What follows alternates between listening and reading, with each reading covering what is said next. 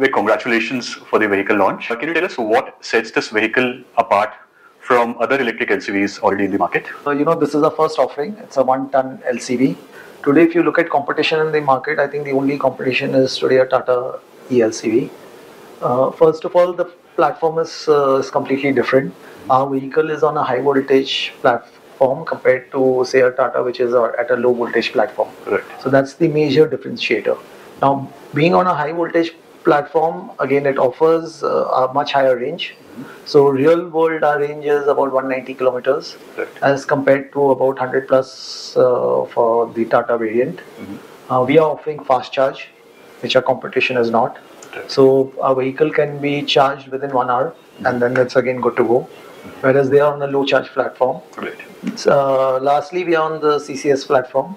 So if you all the charging infrastructure, if you see in the country, is on on that platform. So again, the power and the gradient on a vehicle is much stronger than that. So that means we can load up to one ton on the vehicle as compared to about uh, 700 uh, to 750 kgs on a Tata eLCV. And because of the gradability of the vehicle, it can uh, be, uh, be used in any terrain.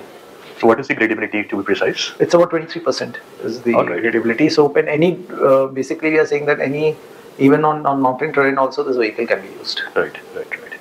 And uh, so, what do you think is the primary uh, application for the vehicle? Is it uh, like mid-mile connectivity, intercity?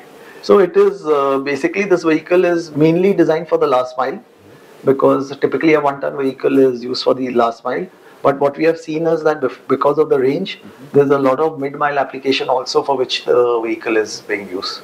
Right. So it is mainly for these purposes. And the idea is that today, compared to a, a three wheeler, today a lot of operators are using it because there is no credible uh, alternate version available. And if you see in most of our cities, the push from the government is towards uh, ELCVs. Right. Plus, there is a distinct advantage for the operator. So today, a vehicle per kilometer it's about uh, two two rupees per kilometer is the cost of running the vehicle as against close to about eight rupees for a ice engine vehicle. So there is a six rupees saving per kilometer. So if a typically a vehicle would run about 150 odd kilometers a day, Mhm. so you're talking about close to about 800 rupees saving Right. for a vehicle of this size. Over a month, if somebody saves about 20 25,000 rupees, that's a very very credible saving. So whatever the little bit incremental EMIs which they have to pay, Right. those are well uh, taken care of. Right. So since the uh, the range of the vehicle is higher, it has uh, it's compatible with the CCS2 charges.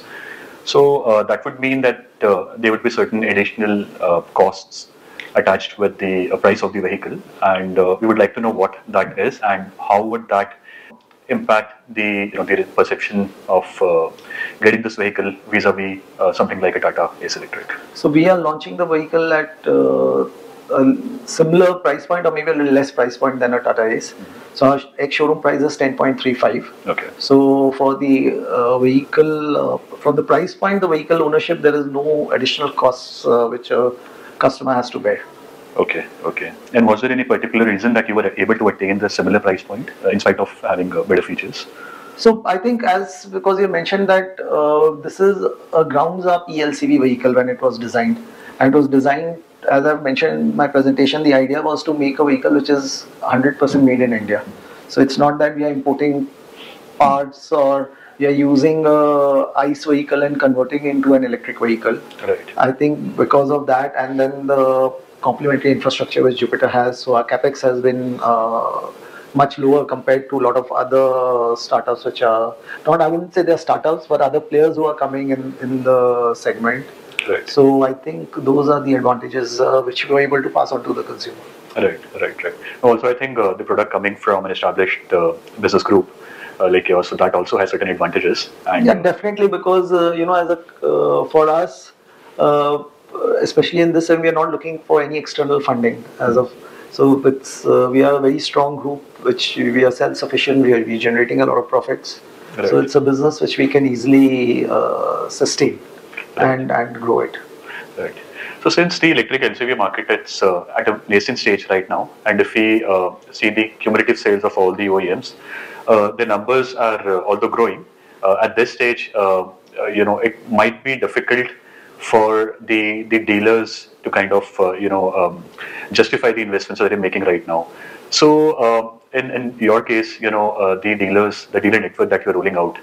Uh, how exactly will the economics work out for them, uh, given that it's you know the first product of the vehicle right now? So uh, initially, you know, we are rolling the products out in mainly tier one cities, where there's already a demand for this kind of vehicles.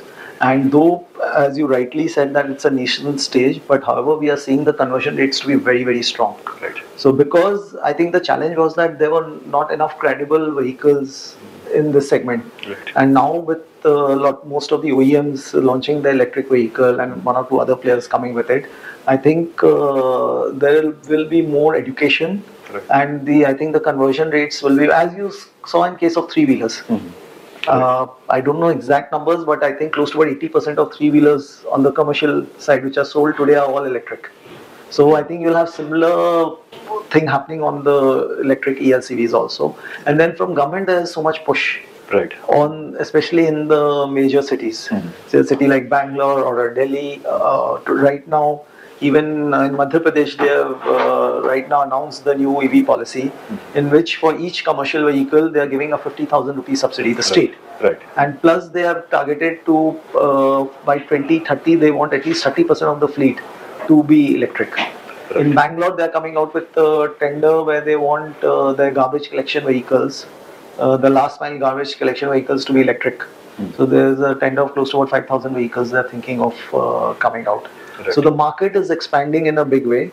So we feel that uh, there is enough financial uh, uh, motivation for the dealer. I'm not saying it's going to be a easy work. We're going to all work together. But I think our dealers are also very excited and very motivated. Right.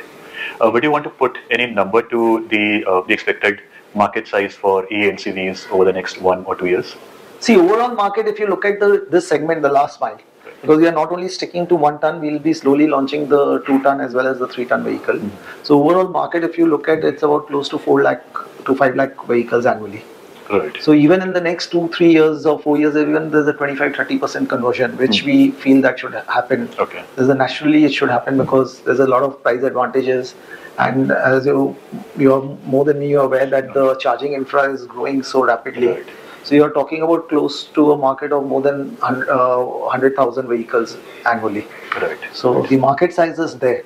It is how you're able to establish your product. Yes, I think for us the key is we are not worried about the market size. We are very confident that the market is going to come. All right. For us, very important is to establish our dealer network, to establish the servicing infrastructure. I think that is the key because uh, it is for the since we are a new brand, the customer has to be confident about the brand. Right. I think right now that is the only focus. Right. And on the finance side, um, what is the uh, comfort level that you've seen with the financiers for ELCVs? So I think the financiers are getting more and more confident and comfortable with the product.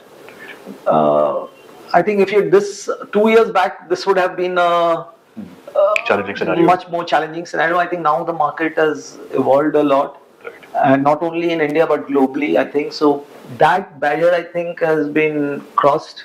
So in terms of uh, acceptability for financiers, and and then our advantage is that we are working with very strong partners.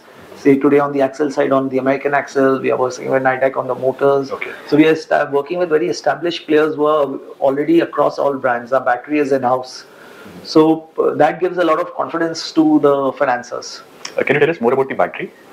So uh, see, the battery is on on the LFP platform, which is the the platform for the future. I think it's going to stay. Uh, we recently acquired Log9 because we, uh, for us, if we were wanting to be a serious player in this segment, we wanted our own black battery platform.